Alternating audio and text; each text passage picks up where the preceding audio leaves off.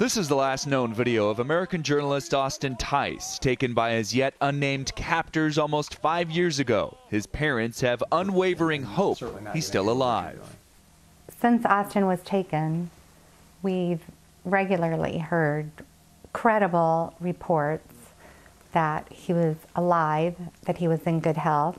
That got a boost late last year after the president's envoy for hostage affairs gave them an update you know, we, we want our son home.